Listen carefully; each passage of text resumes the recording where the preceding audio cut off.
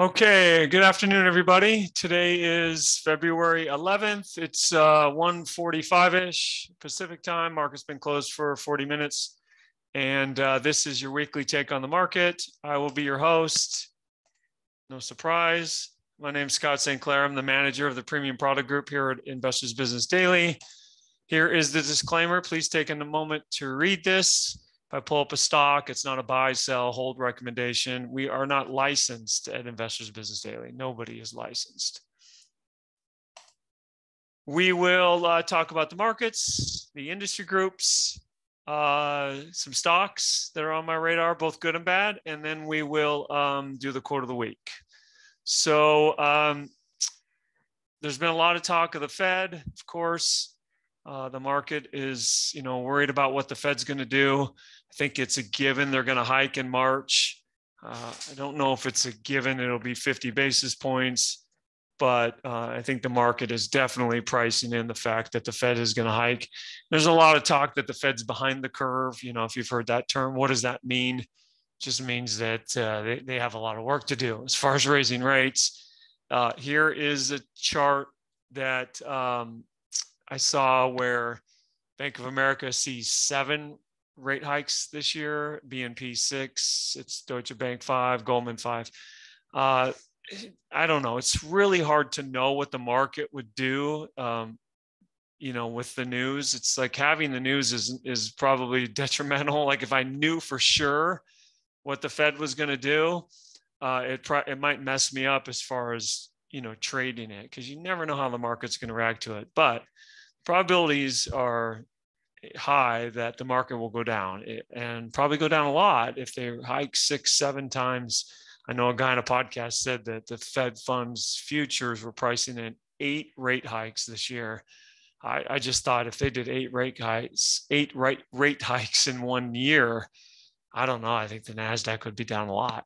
I don't know for sure, but that would be my experience. Uh, here is um, interesting uh, tweet from uh, Whale Wisdom. They track the holdings of hedge funds, and in this case, it, this is the Swiss National Bank. Uh, now, the Swiss National Bank's been buying equities for a long, long time. I think they might have started after the Great Financial Crisis, uh, but uh, you know, six percent of their portfolio is in Apple, five and a half in Microsoft, Amazon. You can see above that these are some that they reduce: PayPal, Facebook, Moderna. So they own a lot of stocks, and when it, the reason I bring this up is like when Facebook got hit, I just thought, you know, when Bill talks about overowned, there just isn't any more overowned than when the central banks of the world own stocks, unless some aliens come down with a bag of cash that's uh, larger than the central banks. There is no uh, buyer larger than them, right? The buyer of last resort is the, the the Fed or the central banks so these stocks are overowned and they're waterlogged. And when they announce bad earnings, or, you know, I have to even admit, I'm not even certain if Facebook's earnings were bad, but maybe it was the guidance or, you know, yeah, that doesn't, let me pull up the chart. Yeah, minus 5% is pretty bad. Anyways, there's just no buyers here, you know, when that happens you know, if you've already, if you're Fidelity or you're the Swiss National Bank or you're XYZ hedge fund and you already have 5% of Facebook, and I'm going to keep calling it Facebook. I know they changed their name, but you guys know what I'm talking about. Um, and it's 300 one day and then it's 250, 240, 230 in the after hours. There's just no buyers. There's nobody to take that stock off your hands. So even a little bit of incremental pressure to sell by all of these um, entities, it, it creates, you know, this huge gap, incredible gap down. I think Facebook was the greatest um, market cap loss in stock market history. And then the next day, Amazon was the greatest gain in stock market history, something like that. So you have a lot of pockets of illiquidity that are pretty scary. Somebody was saying that, you know, I couldn't believe that Facebook was down 43%. Uh, when I heard that and I thought, no way. There's somebody's misspoke. I knew it was down 20% on the earnings. So I just thought maybe it was down 25 or 30%, but you know, it's over 40%. Uh, but that's the term that Bill uses overowned. And there's no perfect number, unfortunately 5,000 funds, 6,000 funds. You know, it depends a lot on the size of the company, um, things like that. But uh, these stocks are overowned and they have been for a while, though. So it's not a very timely indicator. But when they pull a trap door, uh, they become, you know, you create all this uh, supply and uh, that's why PayPal and Facebook and Square, they, they can't come back, at least in the short term here. Uh, there's just no buyers at these levels. They're all, they all own it already. So they need to, to that's what creates the top in the stock.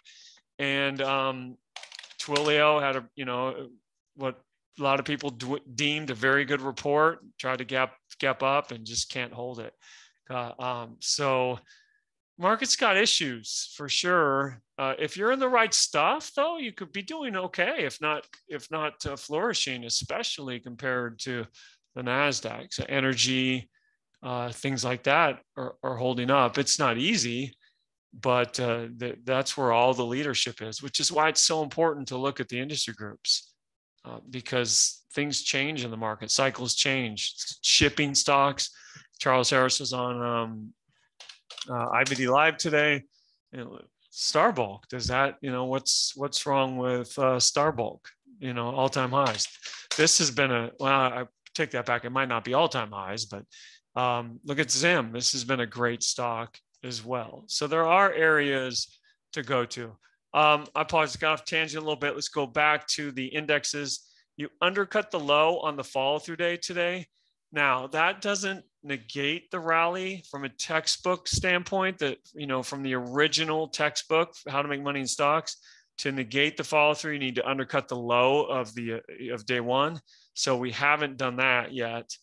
But um, Chris Gessel and that team has has um, studied the undercut of the follow through day, and it's a you know a pretty good precursor that the uh, the low will get undercut. It's not perfect, but the, the probabilities of, of lower prices have just kind of been increasing day by day here. Uh, and um, I think, I don't know what IBD will do. I'm glad I'm not on that team as far as uh, the big picture. I'm going to presume they're going to go to upturn under pressure for sure. Uh, that's that would be my assumption. Uh, the S&P holding up a little bit better, right? You can see it just undercut the 200 day today, whereas the NASDAQ wasn't even close on the rally. So the divergence is, is super clear. If you want to be invested, you, you can't be in growth stocks. In, in the NASDAQ, I, I don't know. I, I don't think it has any exposure to energy. Uh, um, and so that's why it, it, can't get out of its own way, where the S&P uh, does. Uh, emerging markets, how are they doing? Nothing there. You know, you're not getting killed, but you're not making any progress either. And then the Russell, not as bad, but it never had as much umph up either. So the indexes are at best lukewarm at best. I'm I'm definitely not a fan of the indexes. Uh, I own energy. I own uh, some miners and then I'm actually short some of these uh, types of high growth stocks. Um, and uh, I, just think that's the what the cycle we're in. I don't know how long it's going to last, but that's to me the the, the cycle is out of uh, growth and stuff and into um, industrials, metals, energy, etc. How long is it going to last? I don't know. Um, let's go to uh, the industry groups. That'll be the next uh, thing we'll talk about. I don't think there's been much change in there.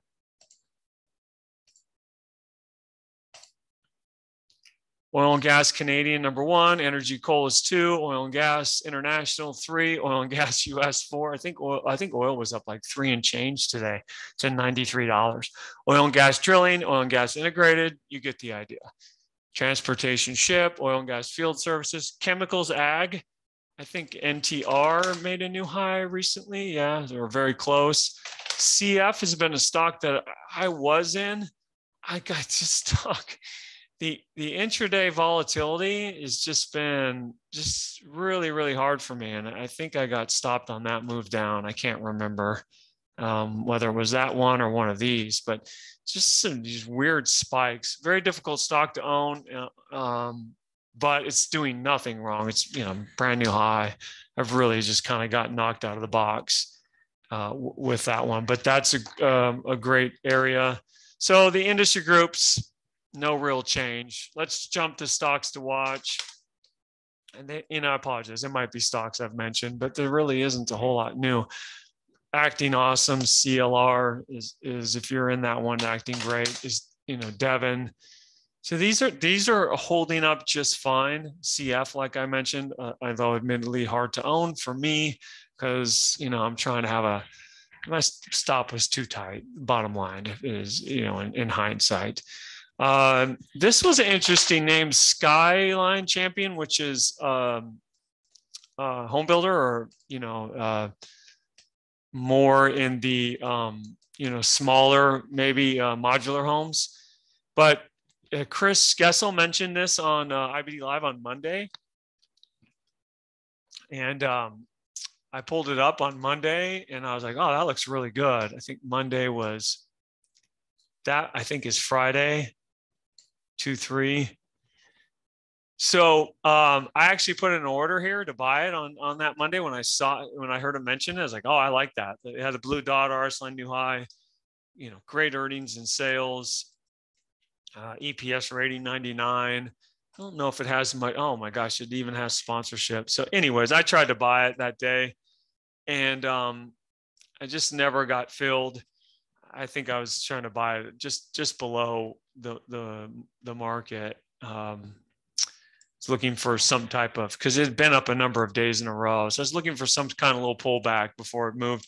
Just kept going up and up and up. I was like, oh, you know, I missed this one because I think my order was in around um, 71 or maybe something 72 or something. And then it tried to break out and just I didn't even realize what happened to it because I don't own it, but uh, it got torched, just giving it all back. And this is the problem with the market.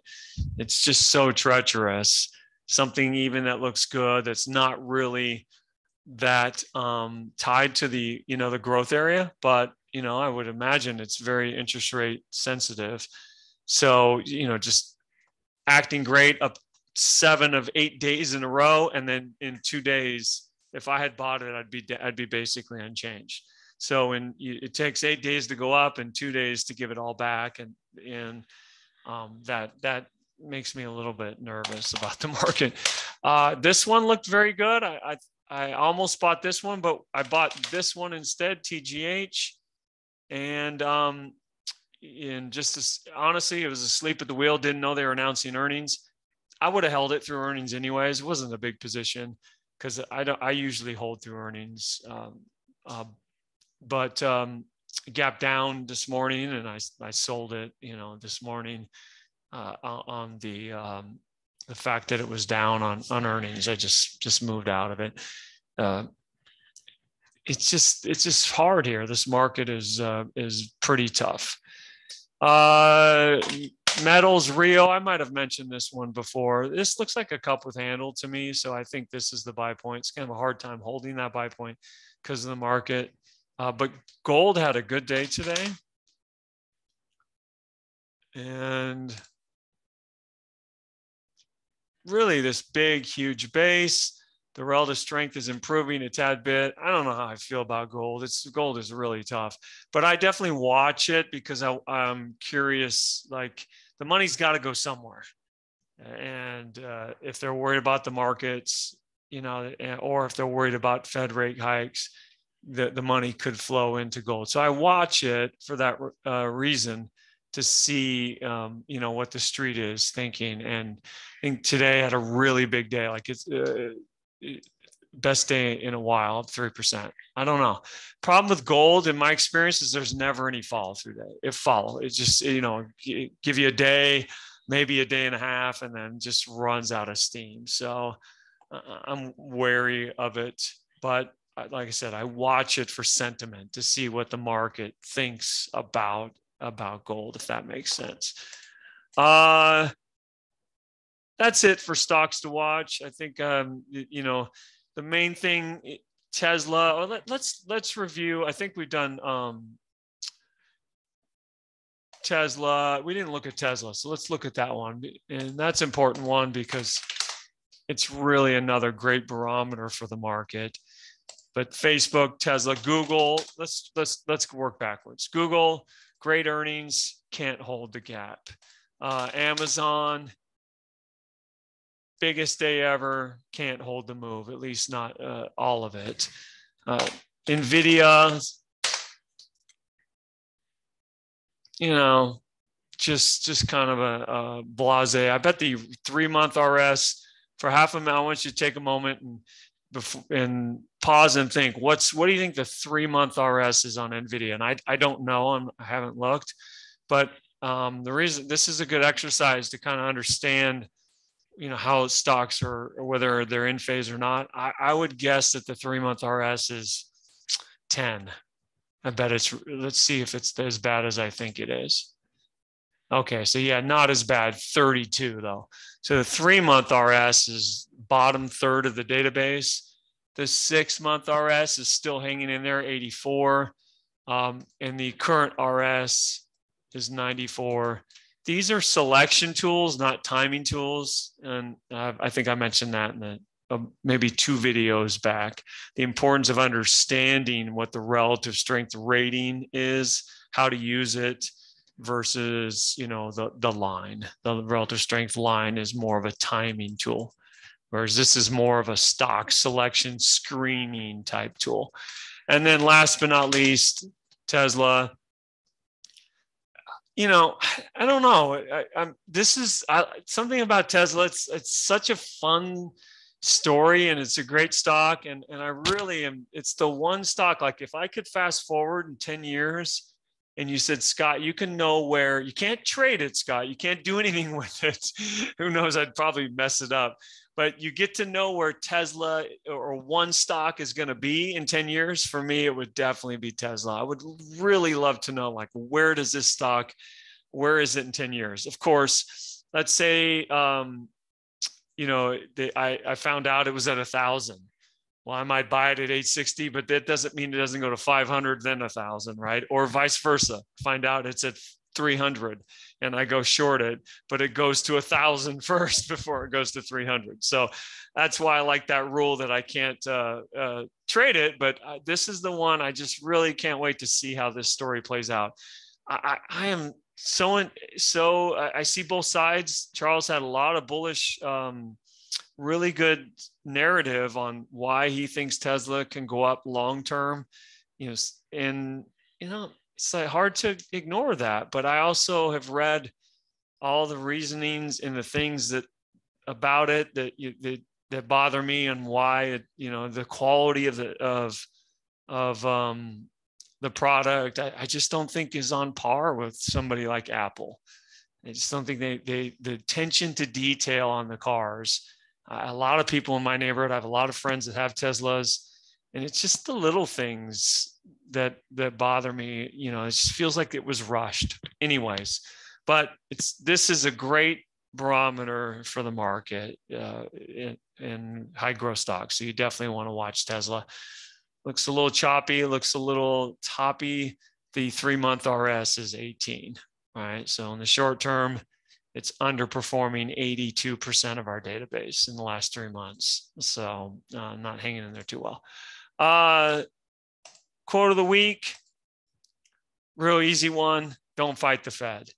So uh, Marty Zweig wrote "Winning on Wall Street." He was a legend on Wall Street. Uh, he's he passed a few years ago, uh, but it was one of the first books I ever read. You know, it was recommended, and I'm pretty sure Bill mentioned it and How to Make Money in Stocks or something because it was like the one of the first. Somebody, you know, had like ten. These are the ten books you have to read, and I've tried reading it uh, again. It's a little dated because uh, I think it was written in the in the early '80s. But um, the concept is, you know, he, he was credited with the uh, quote, "Don't fight the Fed." So uh, if it's it's hard to know how to trade with this environment we're in, but it sure seems like uh, the Fed is in the business of raising rates versus uh, the accommodative policy that they've had for a long, long time. And I, I don't really like to go down that macro road too much, but um, I have to be aware of it. Uh, that's the market narrative right now. So I, I need to build that into my model. So think think about that, build that into your model a little bit. I think you're swimming upstream in the short term here if, if you're if you're trying to you know stay the course with some names uh, buy growth stocks on every bounce etc uh, we'll come out of this i, I think it's the market uh, the, the bear market started a long time ago really i know it's been uh, kind of a stealth one but uh, the the growth stocks and the average stock topped months ago if not longer so um, stay the course do your work and uh, let's see what uh, next week's bring next week brings. Okay, have a great weekend, everybody. Uh, oh, uh, contact information: reach us at marketsmith.com 800 831 2525. Bye bye.